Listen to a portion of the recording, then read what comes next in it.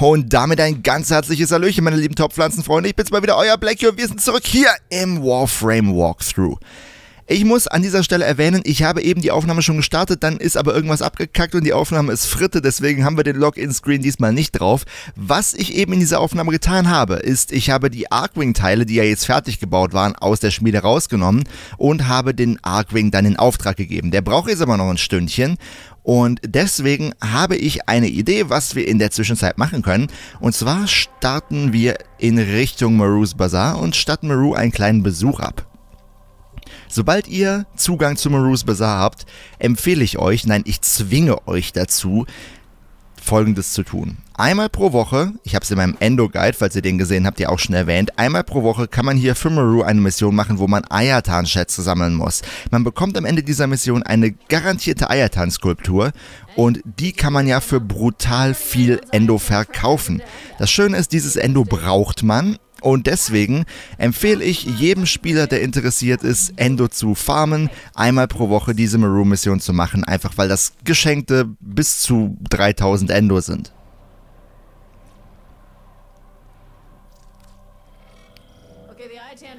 Und was auch schön an der Sache ist, ist, man wird entweder ins Derelict oder ins Void geschickt und auf diese Weise kann man an Void oder Derelict Ressourcen rankommen, ohne das Void oder das Derelict überhaupt erst freigeschaltet zu haben. Das finde ich persönlich ziemlich nice, weil ihr könnt diese Mission mehrfach pro Woche runnen, wenn ihr lustig seid. Ihr bekommt natürlich nur einmal den Ayatan-Schatz, aber ihr könnt die Mission trotzdem häufiger runnen, wenn ihr lustig seid um einfach die Void Drops zu bekommen oder die Derelict Drops, je nachdem. Aber wir kämpfen jetzt hier nicht gegen Gegner, weil die Gegner sind ein bisschen zu stark für uns. Vielleicht mit dem äh, frisch gemoddeten Stab ist es wieder was besser, aber ich habe jetzt nicht unbedingt die Notwendigkeit, hier groß Gegner zu killen. Wir sind ja hier für den Eiertan-Schatz.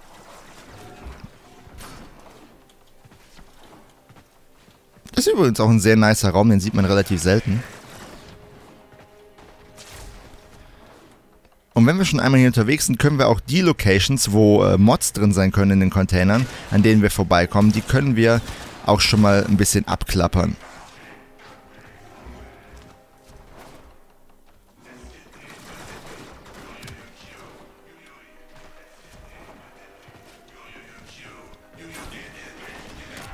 Habt ihr euch schon mal gefragt, was die Corpus da eigentlich reden? Also die Grenier reden ja irgendein ganz komisches, verzerrtes Englisch. Das kann man ja teilweise äh, erkennen, wenn man genau hinhört. Aber die Corpus? Also, ist mal, mal ganz im Ernst, was sprechen die? Was sprechen die? So, hier sind wir, für alle, die es noch nicht gesehen haben. Das hier ist ein Void Secret Room und der wird interessant, weil normalerweise mache ich den immer mit halt einem von meinen Frames, der viel aushält. Hier werden wir aber tatsächlich sterben, wenn wir da in die Laser reinkommen. Deswegen wird das interessant, aber wir kriegen das schon hin. So, einmal ganz vorsichtig in der Mitte runterspringen. Oh, wir haben es tatsächlich überlebt. Das liegt daran, ich kann euch auch erzählen, warum wir das überlebt haben. Es gibt ja jetzt Shield Gating. Das heißt, wenn ihr angehittet werdet und euer Schild voll war und euer Schild dann ganz auf Null runtergeht, dann seid ihr für drei oder zwei Sekunden lang unverwundbar. Das hat uns hier den Arsch gerettet, weil wir wären mal sowas von dran gewesen. Und ja, hier sehen wir es, da haben wir eine Eiertan-Skulptur, die gehört jetzt uns und die ist verdammt viel Endo wert. Wir machen auch hier die Kisten mal kaputt, einfach damit wir uns ein paar nette Mods snacken können.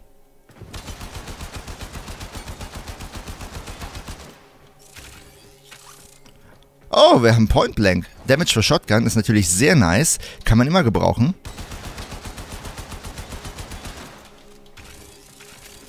Target Cracker Pistol Crit Damage. Oh boy, wir haben richtig Glück heute. Zwei Mods, die absolut Pflicht sind, die man früher oder später haben sollte. Und wir haben sie jetzt Okay. Wir haben sie jetzt bekommen. Das heißt, wenn ihr Maru's Bazaar freigeschaltet habt, dann könnt ihr eigentlich hingehen und diese Mission hier einfach ein paar Mal runnen und euch ein paar Mods snacken. Und meine lieben Topfpflanzenfreunde, ich glaube, genau das werden wir machen, um ein bisschen die Zeit zu überbrücken, bis wir unseren Argwing fertig haben. Einfach ein paar Mal hier die Mission runnen und schauen, was wir da so an Mods zusammenbekommen.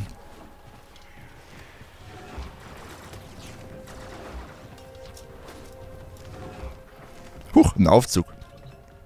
Aufzüge hat man hier relativ selten. Oh, Hallöchen, Hallöchen. Die drei von der Tankstelle sind auch wieder da.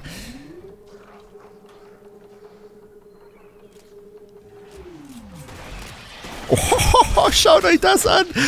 Wir haben hier uns aber wirklich nettes Empfangskomitee bereitgestellt.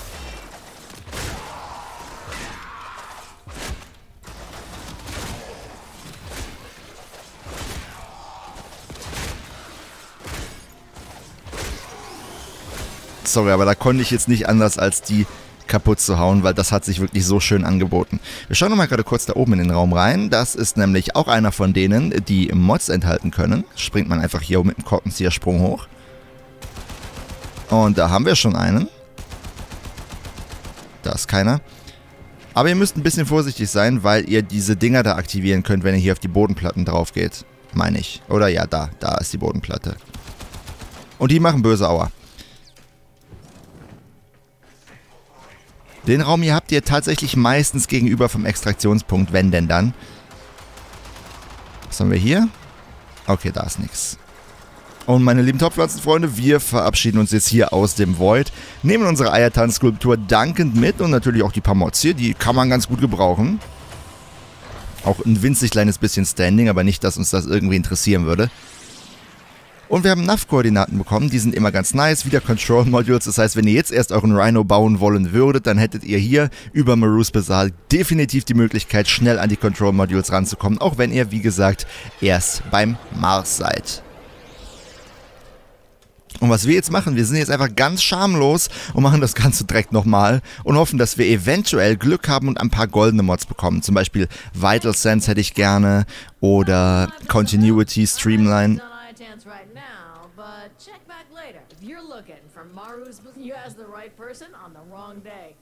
Okay. Das ist interessant. Ich, äh, man kann die Mission nicht neu runnen. Okay. Ich bin jetzt sehr verwirrt, weil ich meine, dass ich in der Vergangenheit tatsächlich einfach mehrfach die Mission gerannt hätte und, und dann halt den Schatz natürlich nicht bekommen habe, aber dann trotzdem die Mission machen konnte. Das ist interessant, offensichtlich kann man das jetzt nicht mehr. Okay, wusste ich nicht, tut mir leid, dann vergesst, was ich gesagt habe. Dann habt ihr nur einmal pro Woche die Chance, über Maru ins Derelict oder ins Void zu kommen. Das heißt, wenn ihr Ressourcen von da dringend braucht, dann lasst euch da definitiv Zeit und sucht die ganze Map ab und nehmt alles mit, was ihr mitnehmen könnt. Für uns ist das Ganze jetzt nicht so wichtig, sage ich mal an der Stelle, weil wir die äh, Sachen für Rhino und so weiter ja haben. Ist natürlich die Frage, was wir jetzt machen können in der Zwischenzeit. Wir sind ja hier auf dem Mars noch, sag ich mal, gebunden, weil wir hier nach äh, Ceres nicht weiterkommen können, weil wir hier den Boss noch killen müssen, den wir nicht killen können, weil wir den Arkwing noch nicht haben. Und dementsprechend ist alles ein bisschen meh. Ich denke mal, was wir jetzt machen, wir machen jetzt einfach noch, was haben wir hier? Genau, wir machen jetzt eine Defense-Mission und machen ein Lift-Relikt auf. Genau. Das, das machen wir jetzt. Wir machen das eine Relikt hier auf und hoffen, dass wir da irgendwie was Gutes bei rausbekommen. Ich möchte jetzt den Part nicht nach fünf Minuten beenden. Sorry für diese kleine Unorganisiertheit. Network not responding. Wieso das? Oh Leute, was ist denn heute los? Der Warframe-Gott will nicht, dass ich heute einen vernünftigen Warframe-Walkthrough-Part aufnehme. Das ist nervig. Okay. Jetzt, jetzt sind wir wieder da. Alles klar. Nee, was ich sagen wollte ist, sorry für die kleine Unorganisiertheit. Ich hätte schwören können, dass man diese Maroon-Mission mehrfach machen kann. Aber gut, dann geht das wohl offensichtlich nicht. Haben wir wieder was dazugelernt. Und ja, wir machen jetzt eine kleine Defense. Fünf Ründchen. Schnell ein Relikt aufmachen. Dann haben wir hier auch genug Content für diese Episode. Und es ist immer sinnvoll, Relikte aufzumachen, wenn man sie hat. Diese Defense-Mission hier kommt uns bekannt vor, nicht wahr? Nein, es ist immer sinnvoll, Relikte aufzumachen, wenn man sie hat, einfach weil man die Relikte zu Geld machen kann. Ich habe ja in meinem Platin Farm Guide, habe ich schon erwähnt, man kann einfach, selbst wenn es nur Schwachsinn ist, der rauskommt, kann man den als Prime Junk verkaufen und das ist immer viel wert. Hier haben wir eine Octavia übrigens dabei, die, die uns mit Musik unterstützt. Octavia ist ein sehr nicer Frame, ist allerdings etwas kompliziert ranzukommen. Wurde ich auch schon mal requested, ein Tutorial zu machen. Vielleicht mache ich das sogar mal irgendwann.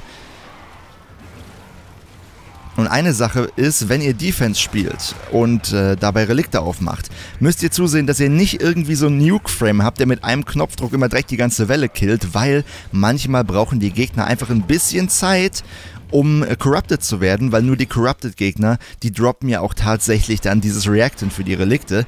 Und wenn ihr die Gegner alle killt, bevor sie korrumpieren können, dann kriegt ihr nachher eventuell sogar nicht genug Reactant zusammen, um das Relikt nach fünf Wellen aufzumachen. Aber das Schöne ist, dass wir hier einfach auch passiv ein bisschen Erfahrungspunkte sammeln können. Auch wenn die ganzen Kills natürlich nicht von uns kommen.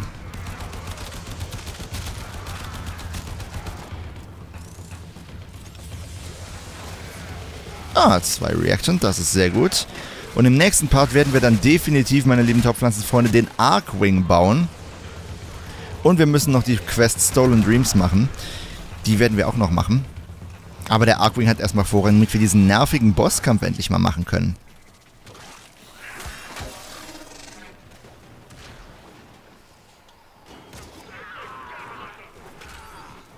Iron Phoenix, eine Stance für Schwerter. Nice Sache. Man sollte sowieso so gut wie möglich darauf achten, alle Stance-Mods zusammenzubekommen, einfach weil man die sehr gut benutzen kann. Und was haben wir hier? Einen kleinen Voidriss und auch direkt ein Reactant, was da rauskommt. Machen wir mal da einen Wegpunkt hin, damit die Leute, die ein bisschen weiter weg sind, das nicht verpassen. Wäre ja schade, wenn nachher alle Leute nur 9 von 10 haben und wir der Einzige sind, der 10 äh, hat, weil, weil wir es gesehen haben.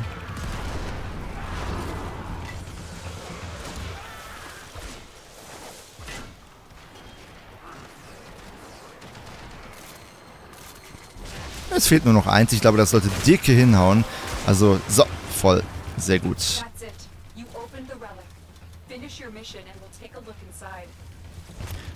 Dann machen wir jetzt noch easy peasy lemon squeezy diese Mission zu Ende, saugen ein paar nette XP von unseren Teammates noch mit auf und dann sind wir am Start mit diesem Relikt. Mal schauen, vielleicht kommt ja irgendwas richtig Wertvolles raus. Irgendwas, was man so für 20 Platin oder so verkaufen kann. Das wäre natürlich richtig toll, weil von den 20 Platin, uh, da würden mir 1000 Sachen einfallen, die ich mir davon gerne kaufen würde.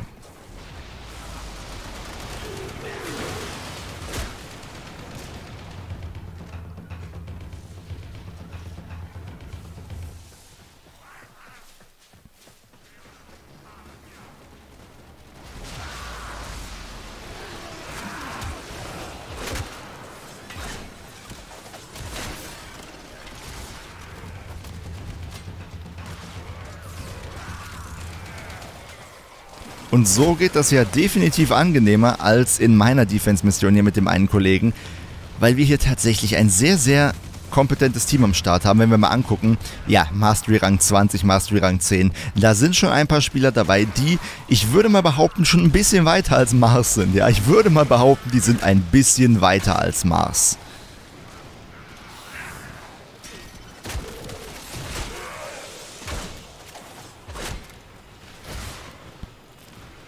Aber nichtsdestotrotz, einfach Missionen doppelt zu spielen, ist generell erstmal nichts Schlechtes, weil wir ja auch irgendwie die Ressourcen zusammenbekommen müssen, um alle Sachen irgendwie zu bauen. Ne? Dementsprechend kann ich auch empfehlen, dass ihr nicht allzu sehr durch die Sternkarte durchrusht, weil wenn ihr dann irgendwie Mastery 3 seid, die Sternkarte fertig habt schon und sagt, oh, ich habe jetzt keinerlei Ressourcen, um irgendwelches Equipment zu bauen, das ist natürlich auch nicht so nice.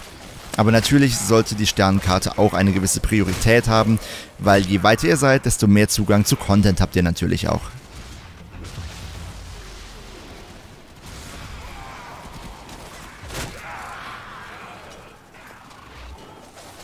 Ach, ein Covered. There you go.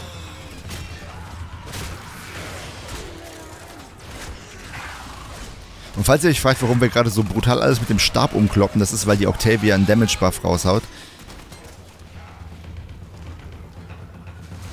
Jetzt haben wir hier noch einen leckeren Mod. Einmal Disruptor für Shotgun, nutzlos, aber trotzdem nice to have. Jeder Mod ist immer nice to have.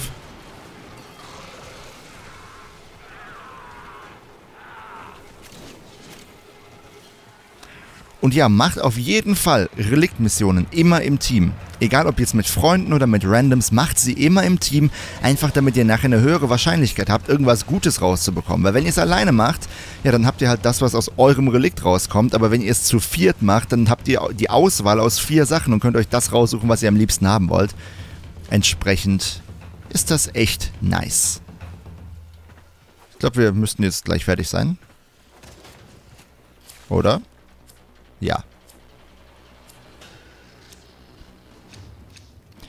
Und wir haben äh, Nincondi Prime, bla bla, Atlas Prime. Wir, wir, nehmen das Former nach wie vor.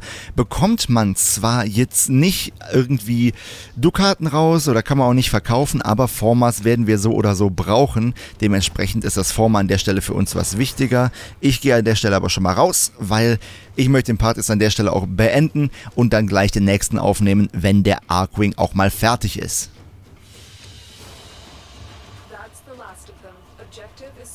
Ja, haben wir unser Former bekommen, haben sogar noch ein Relikt mit rausbekommen. Das heißt, wir haben hier keinen Reliktverlust gemacht. Ein paar Void Traces, falls wir mal Relikte aufbessern wollen. Und natürlich auch einige Mods.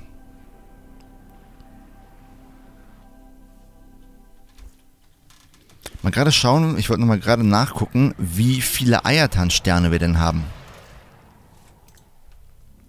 Wir haben zwei Orangen und zwölf Zyren. Das heißt, wir könnten die hier schon voll machen. Ich persönlich warte dabei immer ganz gerne mit, äh, bis wir bei der Nightwave entsprechend soweit sind, damit wir halt, wie sagt man, damit wir, falls wir die Nightwave-Aufgabe bekommen, dass man drei Eiertanz-Skulpturen voll machen soll, dass wir das direkt machen können, ja. Äh, solange wir das Endo nicht brauchen, was wir aktuell wirklich nicht so sehr brauchen, weil wir ganz gut aufgestellt sind für den Anfang, dann sollte man die Eiertanz-Skulpturen erstmal leer lassen und dann halt voll machen, wenn die Nightwave das sagt. Speaking of Nightwave, wir haben hier wieder eine Menge Stuff zu tun. Das meiste davon können wir natürlich noch nicht machen. Aber ich möchte da wirklich in diesem Walkthrough jetzt nicht allzu sehr drauf eingehen, weil wir mit den Catalysts und mit den Reaktoren schon ganz gut aufgestellt sind. Dementsprechend sage ich mal an der Stelle, meine lieben Topfpflanzenfreunde, euer Blackie Over and Out. Ich hoffe, dieser kleine failhafte Part hat euch gefallen. Äh, beim nächsten Mal sind wir wieder dabei mit dem Arkwing, machen dann auch wirklich Progress in der Story, machen den Bosskampf und dann werden wir auch irgendwann mal die Mission Stolen Dreams machen. Das heißt, die Agenda ist auf jeden Fall frisch. Nur diesmal musste ich mir halt irgendwie spontan was überlegen, wie ich diese eine Stunde Arkwing-Bauzeit hier überbrücken kann. Jo, wir sehen uns hoffentlich beim nächsten Mal. Ich wünsche euch noch einen wunderschönen Tag, Abend oder wann auch immer ihr dieses Video schaut. Euer Blackie over and out.